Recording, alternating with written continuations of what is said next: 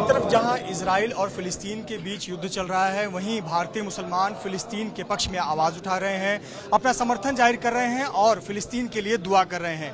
हम मुंबई में मुंबई के नागपाड़ा इलाके में सुन्नी बिलाल मस्जिद में है और मस्जिद के अंदर आप तमाम आ, समाज के लोगों को देख सकते हैं जो कि फिलिस्तीन को अपना समर्थन देने के लिए एकजुट हुए हैं और दुआएँ की गई फिलिस्तीन के लोगों के लिए दुआएँ की गई आ, जल्द ही अमन शांति हो इसके लिए दुआ की गई और यहाँ से संदेश दिया गया कि इंसानियत मानवता को पहले आगे रखा जाए और भारत सरकार भी शांति की पहल करे। आप देख सकते हैं बैनर जहाँ पर फिलिस्तीन और भारत का झंडा है जिसपे लिखा है कि फिलिस्तीन का समर्थन करने के लिए आपको मुस्लिम होना ज़रूरी नहीं बस आपको इंसान बनना है।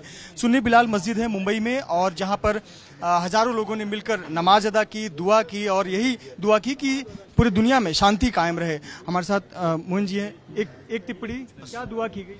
दुआ करके अमन अमान की दुआ की गई है और कि फिलिस्तीन में जो मामला हो रहे हैं वो अमन अमान कायम रहे बस बाकी कोई और बयान जारी नहीं होगा। शांति की दुआ की गई और देखिए। मुसलमानों का था मुसलमानों का है और मुसलमानों का रहेगा। बैतुल मुकद्दस मुसलमानों का था, मुसलमानों का है और मुसलमानों का रहेगा। मुसलमान बैतुल मुकद्दस बैतुल मुकद्दस, मस्जिद अक्सा मस्जिद अक्सा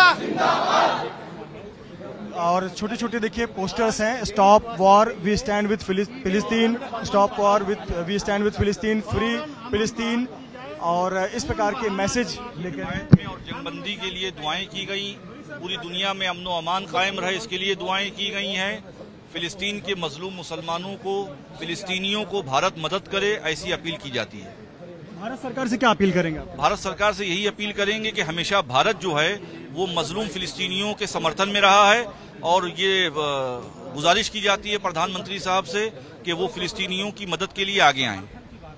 राहुल गांधी और असदुद्दीन अवैसी ने तो समर्थन दे दिया है। देखिए हम अपने भारत के प्रधानमंत्री से ये गुजारिश कर रहे हैं कि वो मजलूम फिलिस्तीनियों की मदद के लिए हाथ बढ़ाएँ।